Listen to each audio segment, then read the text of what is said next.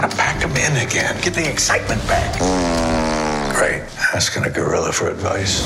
Now streaming. I probably eat it. It's a crayon. I know it's a crayon.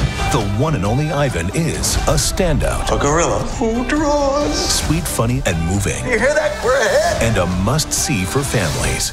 Can you tell what this is? A lonely haystack on a late summer day. It's a beetle. Disney's The One and Only Ivan. Rated PG. Now streaming exclusively on Disney Plus.